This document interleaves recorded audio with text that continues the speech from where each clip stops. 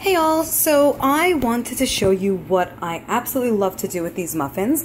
These are the Tanya approved muffins, okay, and they come in all kinds of flavors. And what I love to do is once it's heated, I cut it into four, okay, and then I'll spray some of this on it. So this is the I Can't Believe It's Not Butter Spray. Okay, it's zero calories per spray, oh, OU dairy, as you can see, and it's just really, really tasty. So if you love butter as much as I do, this is a great solution. You can spray some of that on and it tastes amazing. Hope you like it.